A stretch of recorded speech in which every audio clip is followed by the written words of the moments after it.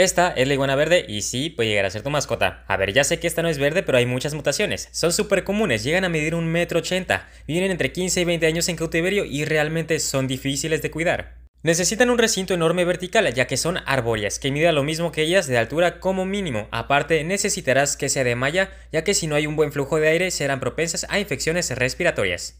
La dieta es vegetariana, nada de insectos, carne o comida de perro. El 90% de la dieta es verduras y hortalizas y el resto es fruta. Desde luego, un suplemento de calcio es vital junto con fuentes de calor y UVB para un buen desarrollo.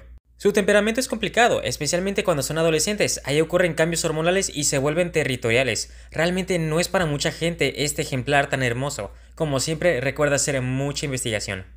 Considerando todo esto, al iguana verde le daremos una calificación de 3 de 10. Y eso sería todo, como siempre les digo, recuerden seguirme y amar a la naturaleza. Gracias.